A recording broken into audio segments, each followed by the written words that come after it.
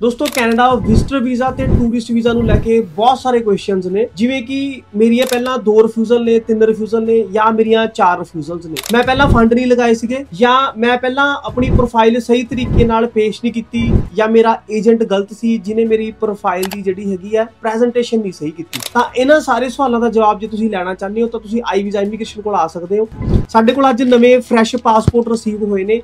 ਇਹ ਉਹ ਪਾਸਪੋਰਟ ਨੇ ਜਿਨ੍ਹਾਂ ਦੇ ਕੀ ਪਾਸਪੋਰਟ ਫਰੈਸ਼ ਸੀਗੇ ਟਰੈਵਲ ਹਿਸਟਰੀ ਨਹੀਂ ਸੀਗੀ ਫੰਡਸ ਨਹੀਂ ਸੀਗੇ, ਜਾਂ ਜਿਨ੍ਹਾਂ ਦੀਆਂ ਪਹਿਲਾਂ 2 ਤੋਂ 3 ਜਾਂ 4 ਰਿਫਿਊਜ਼ਲ ਸੀਗੀਆਂ। ਉਸ ਤੋਂ ਮੈਂ ਤੁਹਾਨੂੰ ਦਿਖਾ ਦਿੰਦਾ ਵੀ ਇੱਥੇ ਤੁਸੀਂ ਫਰੈਸ਼ ਪਾਸਪੋਰਟ ਤੇ ਵੀ ਦੇਖੋ ਵੀਜ਼ਾ ਤੁਸੀਂ ਫਰੈਸ਼ ਪਾਸਪੋਰਟ ਤੇ ਵੀ ਲੈ ਸਕਦੇ ਹੋ। ਟਰੈਵਲ ਹਿਸਟਰੀ ਕੋਈ ਨਹੀਂ ਹੈਗੀ। ਇਹਨਾਂ ਦੀ ਜੇ ਆਪਾਂ ਕਹੀਏ ਤਾਂ ਇੱਥੇ ਟਰੈਵਲ ਹਿਸਟਰੀ ਇੱਥੇ ਕੋਈ ਵੀ ਟਰੈਵਲ ਹਿਸਟਰੀ ਨਹੀਂ ਗੀ ਬਿਲਕੁਲ ਫਰੈਸ਼ ਪਾਸਪੋਰਟ ਹੈ।